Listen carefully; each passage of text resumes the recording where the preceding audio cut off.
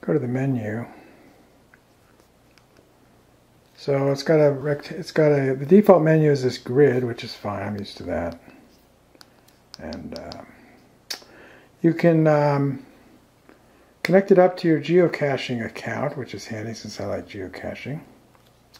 So that's good. You just you just you just uh, go into this activity here, and then it gives you a um, gives you a uh, registration number. Then you go to the geocaching website and you type that number, and then this device is known to geocaching, so you can send you can send um, uh, geocaches to it, so you can find them.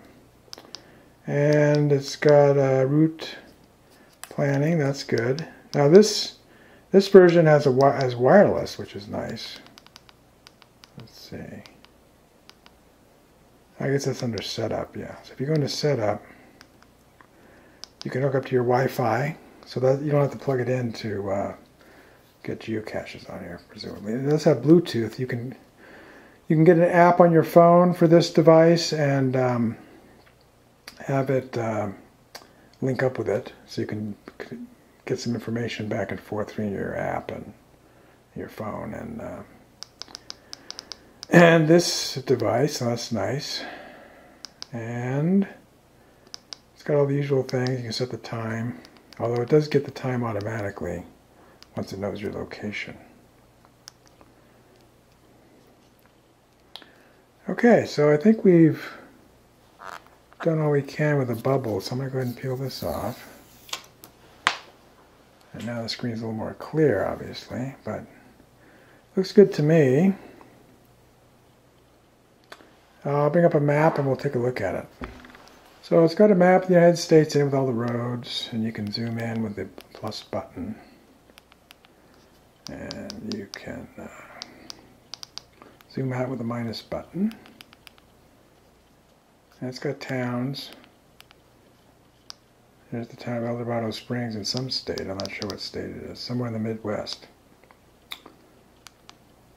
You can find entertainment.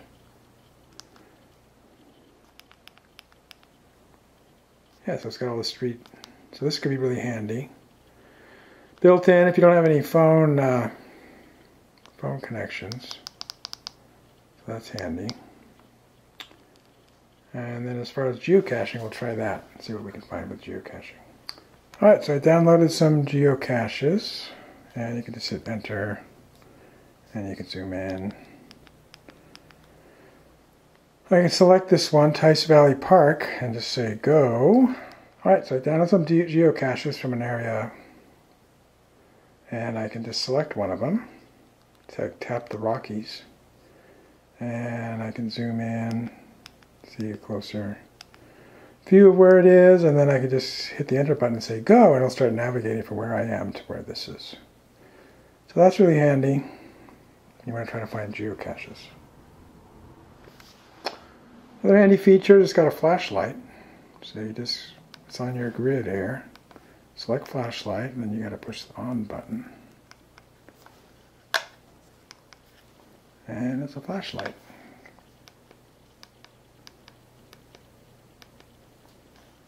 You can have a flash for emergencies. You can have a flash SOS. Turns off Wi-Fi, that's interesting handy. I see then it's got so 9 will flash fast and 0 of course is and you can change the intensity it looks like. Let's see. How do you change the intensity? I don't see how to get on that. Turn it on or off. Turn it on. You can change the intensity.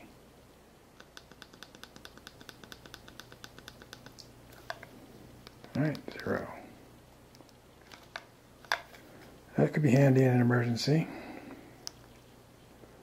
And it's got a stopwatch. Keep track of somebody running. Reset, pretty standard there. Calculator, that could be good for solving uh, puzzle caches in the field. Two plus 2 equals 4. All right, it works. Sun and the moon. So sunrise and sunset is always handy for all sorts of hiking and things like that. So that's great. Do photo viewer. I'm not sure how to do with that. So area calculation. I guess if you're doing some uh, primitive surveying, you can do that. So that's pretty good. Waypoint averaging. Huh. I guess if you're finding a waypoint, if you're trying to find a place a cache, you can uh, take a whole bunch of measurements and it'll average them for you. That's pretty handy. BirdsEye Direct. I can download imagery from uh, satellites. I believe that's what that is. And Connect IQ, that's the Garmin app on your on your on your PC or your computer, so that's pretty good. And notifications, if you it up to your app on your phone, you can get notifications from your phone, like uh, text messages or whatever. So, All right, so I'm really happy with this. It's not too heavy.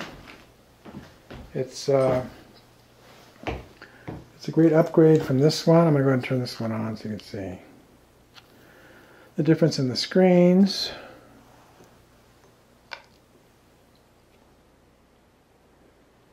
So this screen, this has been a really good one.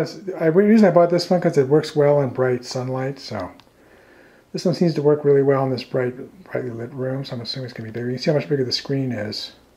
And they both have buttons, which is what I wanted. Uh, but um, just I've had this one over 10 years. It's been good, but Garmin's just the, the, DeLorme, as far as I know, has stopped making these. So they're kind of getting out of the business, and Garmin is going strong. So I think this is a good upgrade at this time. So I'd say the Beta Cygni re recommends this. I haven't used in the field yet, so I'll, I'll, be before I finish this video, I'll be doing some field work with it, and we'll see how it works in the field. Then we can come to a final conclusion. I want to go over a couple of setup things. So if you go into the System menu, you can set up your satellites. So I decided to use uh, GPS plus Galileo. So you have a different choice here. You can use uh, GPS mode, which is just the United States system.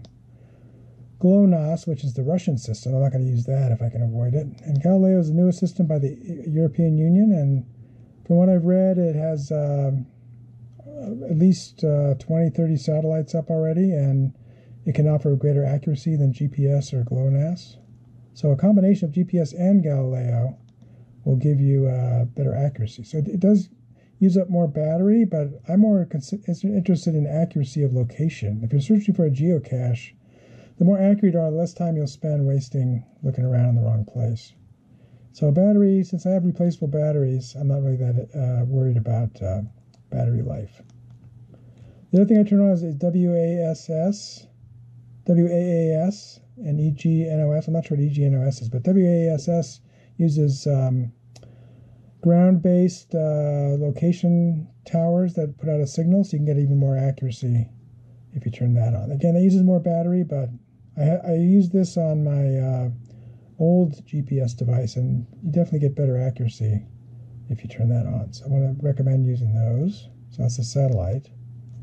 And down here is your battery type. So I'm using Ni nickel metal hydride batteries, but you can also use lithium or alka alkaline. So I usually take take oh, it has pre-charge. So the pre-charge must be the fancy Eneloop ones like I've got. So those are called pre-charged NIMH. So I'm going to switch it to that. So they have different life characteristics than the regular NIMH. So they can hold a higher charge longer. And lithium batteries are good, but I've had bad luck with rechargeable lithium, so I don't use those. And then I usually carry a, a couple alkaline batteries AA batteries as a backup in case my batteries run out. So we're going to switch to pre-charge NIMH. So that should give us the best battery life, so the GPS knows how to manage its battery a little bit better. If you like this video, please give it a thumbs up. Post a comment if you have any questions or ideas and I'll try to respond. That's all for now, but more videos are coming, and if you want to see them, please subscribe to my channel and turn on the notification icon if you don't want to miss one. This is Beta Cygni signing out and keep looking up.